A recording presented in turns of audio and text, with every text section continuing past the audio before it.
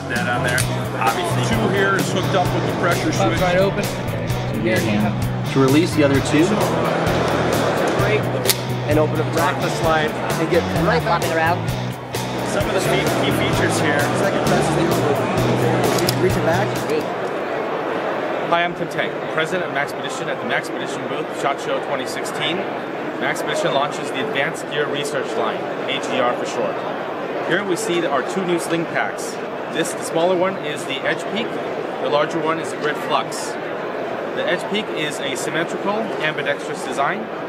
You have one central shoulder strap and one stabilizer strap that swivels. You can switch the positions depending on if you want right shoulder or left shoulder carry. In the front, you have a rigid EVA pocket designed to protect the interior contents, such as glasses. You have a admin type pocket with lots of organization.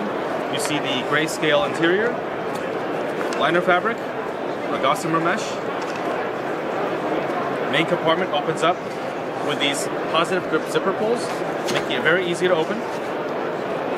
Open to the inside, you see more gossamer mesh organization on the back, and there is a fully padded compartment in front to hold any tablet.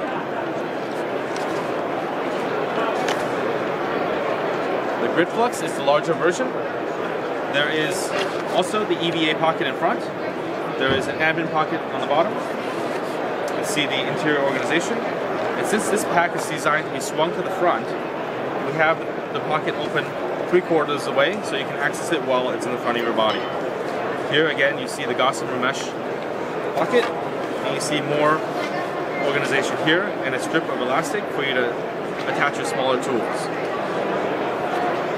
Opening up the main compartment, again you see more gossamer mesh pockets.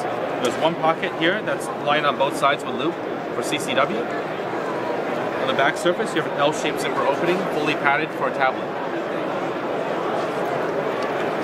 On the back, you'll see there is a ergonomic curved shoulder pad, which makes the bag very comfortable.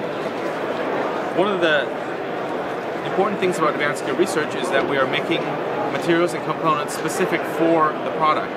So here you'll see a, a very elegant detail.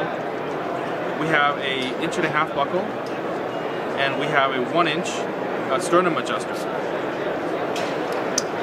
When we designed this, rather than using two pieces of webbing, we actually fabricated a custom piece of webbing that transitions between inch and a half to one inch.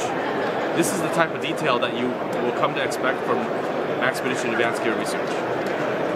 So again, in 2016, we have the Edge Peak and the Grid Flux. Thank you.